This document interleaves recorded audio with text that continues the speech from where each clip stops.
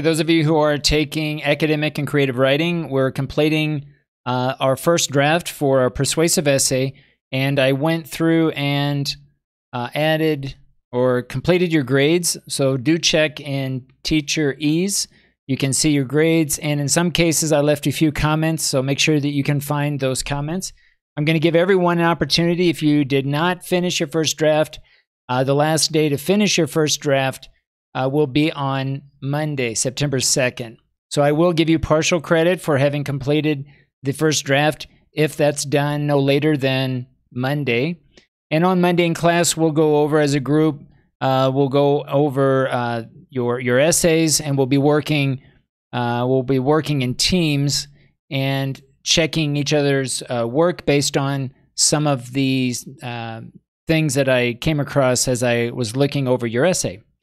Again, try to finish if you have not completed the first draft. Remember, uh, in order to get credit for the first draft, you must have five paragraphs between five to eight sentences. You need to have your references at the bottom of your um, of your essay, and that's basically it. Don't worry about making too many grammar mistakes. Uh, the main thing is to try to complete the first draft. Five paragraphs, five to eight sentences for each paragraph. Make sure that you have your citations, at least five citations at least one in each of the paragraphs, except for the conclusion paragraph.